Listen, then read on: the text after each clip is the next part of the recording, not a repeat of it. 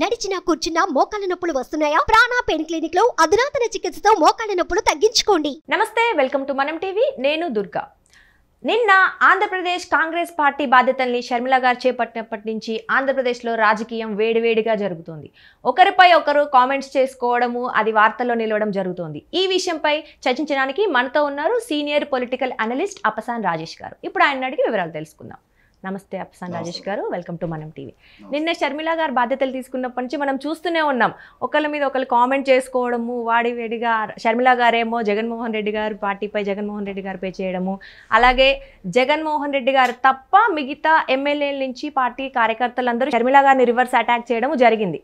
దీనిపై మీరు ఎలా స్పందిస్తారు? అంటే ఏం జరుగుతుంది అసలు రాష్ట్ర రాజకీయాల్లో? అంటే ఒక రకంగా వైసీపీ శ్రేణుల ఆత్మవిశ్వాసం మీద వాళ్ళ ధైర్యం మీద ఇప్పటివరకు జగన్మోహన్ రెడ్డి గారు వైనాట్ వన్ సెవెంటీ ఫైవ్ అంటున్నారు కదా. ఏదో ఒక మాయాజాలం మంత్రదండం ఆయన ప్రయోగించకపోతారా? రెండు వేల పంతొమ్మిది ఎన్నికల్లో ఆయన ఆయన వ్యూహకర్తల ప్రచారం వాళ్ళ సోషల్ మీడియా ఇచ్చిన ఎలివేషను ఆయన ఎంచుకున్న ప్రచార విధానం ద్వారా ప్రజల్లో తన పట్ల నమ్మకం కలిగించుకోగలిగారు. ఆనాటి ప్రభుత్వం మీద వ్యతిరేకత తీసుకురాగలిగారు. తనకి తన పార్టీ శ్రేణులు కూడా ఊహించినంతటి మెజార్టీ దక్కించుకోవడంలో సక్సెస్ అయ్యారు. ఈ నేపథ్యంలో అదే ఆత్మవిశ్వాసాన్ని శ్రేణుల్లో కలిగించడానికి ఆయన ఈ మధ్యకాలంలో why not one seventy five అని చెప్పని పదే పదే ప్రస్తావిస్తూ వస్తున్నారు. ఇటువంటి సందర్భంలో ఆ ఆత్మవిశ్వాసం మొత్తాన్ని ఎట్లుందంటే ప్రశాంతంగా ఉన్న ఒక చెరువులో ఒక పెద్ద బండరా వేసినట్టు శర్మల గారు నిన్న అంటే ఆ సృష్టించిన ప్రకంపనలు వైసీపీలో దిగువ స్థాయి కార్యకర్త నుంచి కాకపోతే పార్టీ అధ్యక్షుడిగా ముఖ్యమంత్రిగా ఉన్న జగన్మోహన్ రెడ్డి గారు ఒక్కరే ఇంకా బయటకు వచ్చి స్పందించలేదు కానీ మాట్లాడుతున్నారు. వా అంటే అన్ని అంశాల్లో స్పందించే సజ్జల రామకృష్ణారెడ్డి గారు వైవి సుబ్బారెడ్డి గారి దగ్గర నుంచి ఎమ్మెల్యేగా ఉన్న అనిల్ కుమార్ యాదవ్ గారి వరకు ప్రతి ఒక్కరూ ర్యాంక్ అండ్ ఫైల్ అంటారు. వాళ్ళ సోషల్ మీడియా అయితే పరిధి దాటి ఒక రకంగా మనకి గత నెలలో నేషనల్ క్రైమ్ బ్యూరో రిప్- రిపోర్ట్స్ గణాంకాలు వచ్చినాయి. దాని ప్రకారం చూసుకుంటే మహిళల గౌరవానికి భంగం కలిగించే కేసులో ఆంధ్రప్రదేశ్ నెంబర్ వన్ స్థానంలో ఉంది. అంటే జగన్మోహన్ రెడ్డి గారి ప్రభుత్వ హయాంలో మహిళల గౌరవానికి భంగం కలుగుతున్న కేసులు దేశంలోనే నెంబర్ వన్ స్థానంలో ఉన్నాయి. అదే ఓరవడు కొనసాగిస్తా నిన్న వైసీపీ సోషల్ మీడియా అత్యంత జుగుసాకరంగా జగన్మోహన్ రెడ్డి గారి సొంత సోదరి అనే అంశాన్ని కూడా విస్మరించి ఆమె ఒక మహిళ అనే అంశాన్ని కూడా విస్మరించి ఇష్టరీతిన ఆమె వ్యక్తిత్వ హన్నానికి పాల్పడతా అంటే అత్యంత జుగుసాకరమైన ట్రోలింగ్ చేస్తూ ఉన్నారు. అంటే వాళ్ళ వైఖరి ఎట్లా ఉంది అని అంటే జగన్మోహన్ రెడ్డి గారిని విమర్శ చేసిన ఎవరిని టాలరేట్ చేయం మేము. ఓకే. అంటే ప్రభుత్వానికి వ్యతిరేకంగా తీర్పులు ఇచ్చిన ప్రధాన న్యాయమూర్తులు హైకోర్టు న్యాయమూర్తుల దగ్గర నుంచి మొదలుపెట్టి ప్రత్యర్థి పార్టీలకు సంబంధించిన మహిళా నాయకురాళ్ళ దగ్గర నుంచి మొదలుపెట్టి అమరావతి మహిళల దగ్గర నుంచి మొదలుపెట్టి ఇవాళ అంగన్వాడీ సిబ్బంది ప్రభుత్వాన్ని ప్రశ్నించినా కూడా టాలరేట్ చెయ్యలేని ఒక రకమైన మోస్ట్ ఇంటాలరెంట్ పార్టీగా వైసీపీ పార్టీ మారిపోతా ఉంది. ఇటువంటి ఇటువంటి నేపథ్యంలో కాంగ్రెస్ పార్టీ పీసీసీ అధ్యక్షురాలుగా శర్మ గారు బాధ్యతలు చేపట్టారు. అంటే జగన్మోహన్ రెడ్డి గారికి వ్యతిరేకంగా రాజకీయం చేసే స్వేచ్ఛ వెసులుబాటు అంటే జగన్మోహన్ రెడ్డి గారి కుటుంబ సభ్యురాలైన మాత్రం ఆమెకు ఉండదా? ఇవాళ జగన్మోహన్ రెడ్డి గారు కానీ ఆయన శ్రేణులు కానీ నిన్న సజ్జల రామకృష్ణారెడ్డి గారు మాట్లాడితే ఏం మాట్లాడుతున్నారంటే వైఎస్ అనే ఆ పేరుకి ఆమె అప అపప్రద తీసుకొస్తుంది అని అంటున్నారు. మీరు తీసుకొచ్చిన ఖ్యాతి ఏంటి?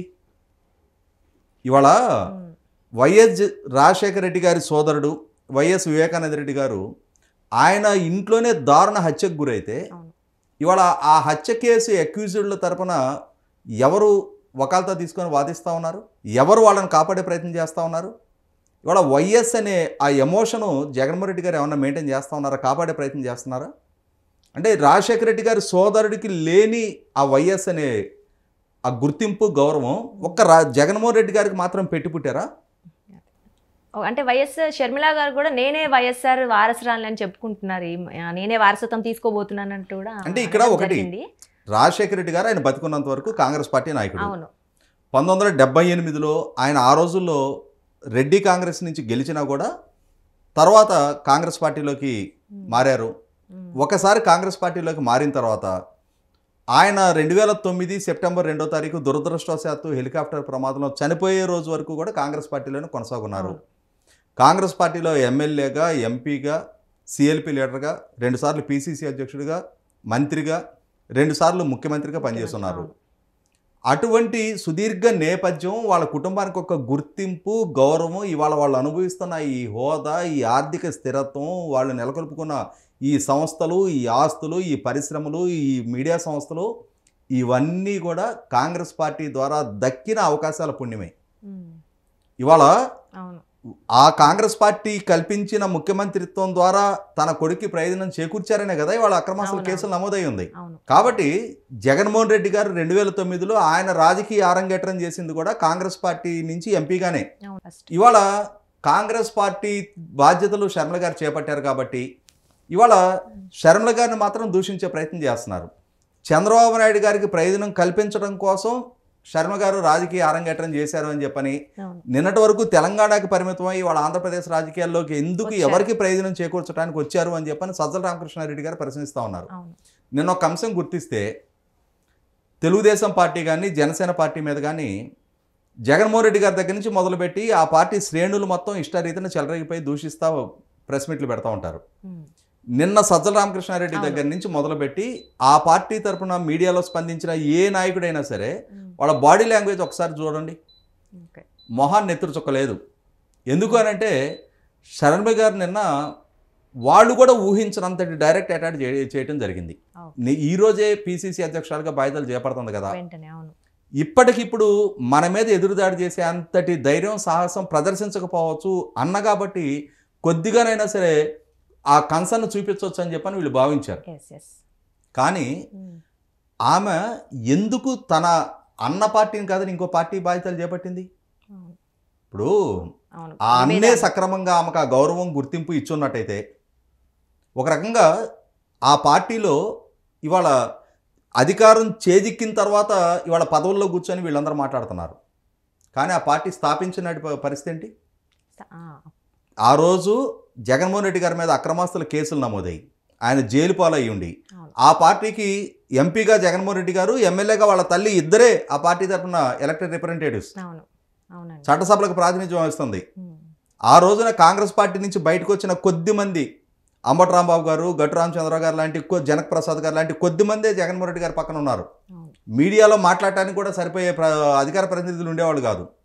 అటువంటి సందర్భంలో ఆయన జైలు పాలైన నేపథ్యంలో ఇన్ని వేల కోట్ల రూపాయల అక్రమాస్తులకు సంబంధించిన ఆరోపణలతో జైలు పాలై ఉన్న జగన్మోహన్ రెడ్డి గారిని చూసిన తర్వాత అసలు ఈ పార్టీ అనేది మనుగడ సాగిస్తుందా?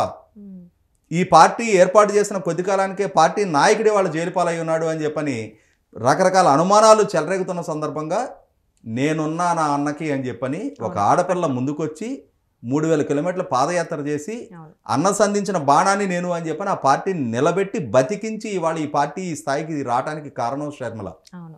ఇవాళ ఈ సజ్జల రామకృష్ణారెడ్డి ఈ వైవి సుబ్బారెడ్డి లేకపోతే ఈ అనిల్ కుమార్ యాదవ్ లాంటి వేరే ఎవ్వరూ ఆ రోజు జగన్మోహన్ రెడ్డి గారి రెస్క్యూకి వచ్చినాడు కాదు. జగన్మోహన్ రెడ్డి గారు ఒక స్థాయికి వచ్చిన తర్వాత ఆయన ద్వారా లాభాలు ప్రతిఫలాలు అందుకోవడానికి వీళ్ళందరూ దగ్గర చేరినాళ్ళు. ఏ లాభాపేక్ష లేకుండా రక్త సంబంధానికి కట్టుబడి ఉండి తన అన్న పట్ల కన్సర్న్ తోటి ఆ అన్న తప్పు చేశాడా ఉప్పు చేశాడనే తర్వాత సంగతి. ఆయన కష్టకాలంలో ఉన్న రోజు చెల్లెలుగా నా బాధ్యత అని చెప్పని నిలబడి ముందుకొచ్చి పోరాట ప్ర- పటిమ ప్రదర్శించిన వ్యక్తి షర్మిల ఉమ్, ఈరోజు వీళ్ళందరూ ఆమెని వేరే పార్టీలోకి ఎందుకు వెళ్ళా ఉంటున్నారు నీ పార్టీలో ఎందుకు ఉంచుకోవాలి ఆమెని?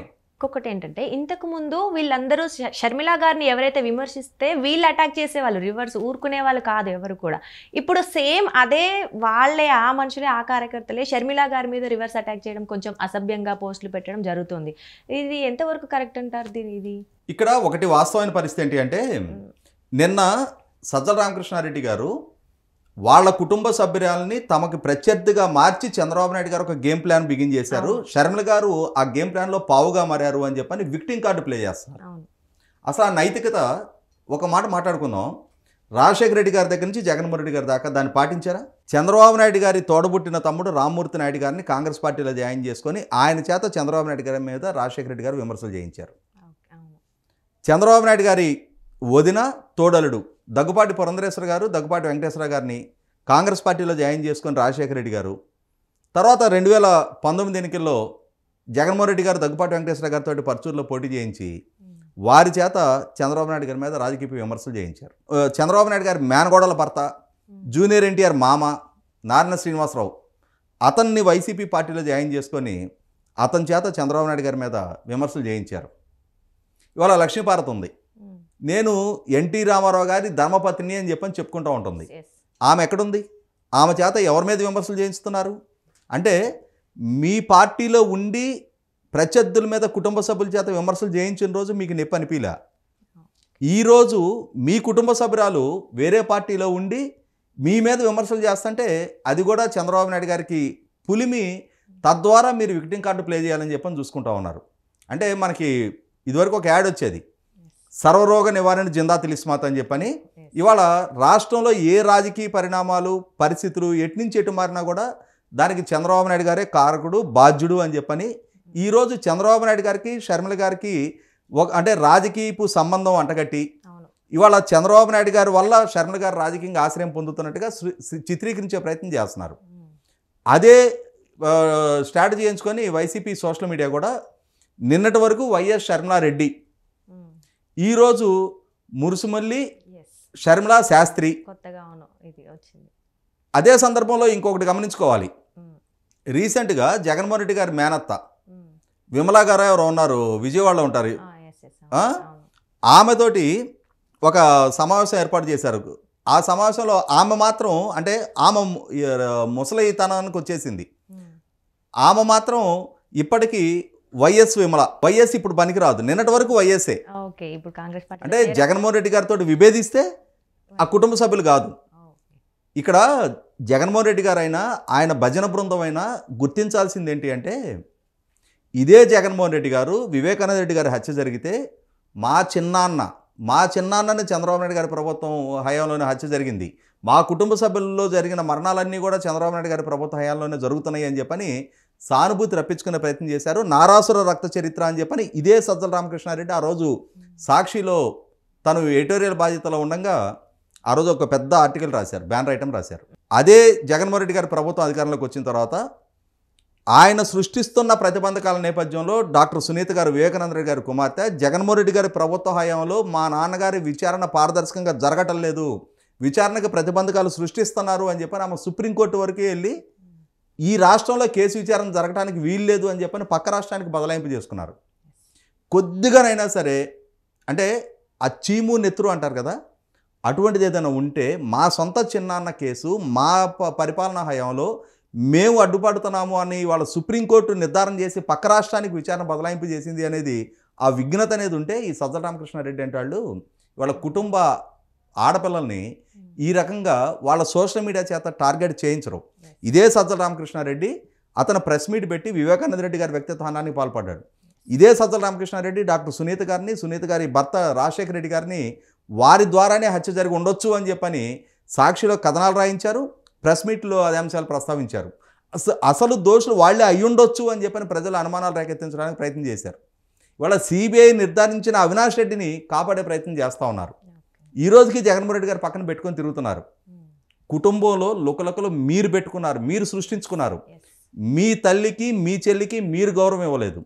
మీరు వారి కష్టానికి తగిన గుర్తింపు ప్రాధాన్యత మీరు కల్పించలా ఇటువంటి సందర్భంలో వారి రాజకీయ ఆకాంక్షలు నెరవేర్చుకోవడానికి మీ వల్ల జరిగిన అన్యాయానికి బదులు తీర్చుకోవడానికి ఇవాళ ఆమె కసిగా పట్టుదలగా తనకంటూ ఒక రాజకీయ మార్గాన్ని ఆమె ఎంచుకోవటం జరిగింది. ఇటువంటి సందర్భంలో ఖచ్చితంగా మీ గెలుపుకు దోహదం చేసిన ఆమె మీ గెలుపుకి కీలకంగా పనిచేసిన ఆమె మీకోసం వేల కిలోమీటర్ల పాదయాత్ర చేసిన ఆమె మీ గెలుపు కోసం బహిరంగ సభల్లో పాల్గొన్న ఆమె ఆనాడు మీ ప్రత్యర్థుల మీద విరుచుకుపడిన ఆమె ఇవాళ మీ మీద కూడా అదే దాడి మొదలు పెడుతుంది సూటిగా స్పష్టంగా ఆమె లేవనెత్తిన అంశాలకి సమాధానం చెప్పగలిగే నిజాయితీ చిత్తశుద్ధి మీ దగ్గర ఉంటే వాటికి సమాధానం చెప్పండి. సమాధానం చెప్పలేరు అంటారా? ఖచ్చితంగా మీ బేలతనాన్ని మీ పిరికితనాన్ని మీ డొల్లతనాన్ని మీరే బయట పెట్టుకున్నట్టు అవుద్ది. ఏ విషయం కూడా రాబోతున్న రోజుల్లో ఆమెను డీమోరలైజ్ చేయడం కోసం మహిళ కాబట్టి ఆమె వ్యక్తిత్వం మీద దాడి చేస్తే ఆమె డీమోరలైజ్ అయిపోద్ది అనుకుంటే మీరు గతం నుంచి కూడా చాలామంది మహిళా నాయకురాల మీద ఇదే వైఖరి ఎంచుకుంటా ఉన్నారు. ఈరోజు దాకా ఏ మహిళా నాయకురాలు మీ మీద పోరాట పందాలో కొద్దిపాటి కూడా వెనకడుగు వేయలేదు. ఇప్పుడు శర్మ గారు కూడా వెనకడుగు వేస్తుందని చెప్పని మీరు ఆశించినా కూడా అది నూటికి నూరు రూపాయలు ఆశాభంగం కావటం ఖాయం. ఇవాళ మీరు ఒకనాడు శర్మల గారిని రాజకీయంగా ఎవరైనా విభేదిస్తే ఆ ఆ విభేదించిన వాళ్ళ మీద ఎదురుదాడి చేసిన వాళ్ళు ఇవాళ ఆమె మీద మీ సోషల్ మీడియా ద్వారా వ్యక్తిత్వానికి పాల్పడటాన్ని మీరే ప్రోత్సహిస్తున్నారు అని అంటే మీ స్థాయి మీ సంస్కారాన్ని మీరే బయట పెట్టుకుంటున్నారు. ఓకే సార్ ఇప్పటికే ఆంధ్రప్రదేశ్లో చాలా వాడి వేడిగా చర్చ జరుగుతోంది. ఇక ముందు ముందు ఏం జరుగుతుందో చూద్దాం. Thank you